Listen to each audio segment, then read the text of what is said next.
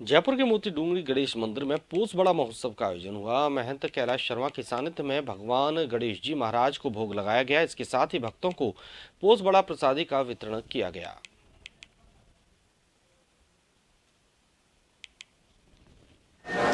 पोष माह शुक्ल पक्ष हिंदू संस्कृति के अनुसार सबसे संत होता है। जयपुर की परंपराओं के अनुसार देवालयों में पोष बड़े का भोग लगाने की परंपरा है।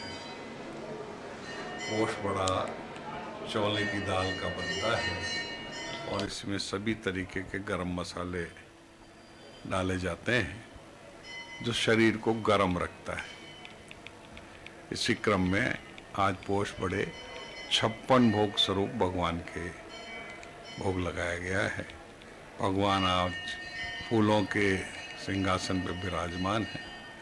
और स्वर्णमय मुकुट, जिसके ऊपर अभी और सोना लगाया गया है, वो धारण करे हुए हैं।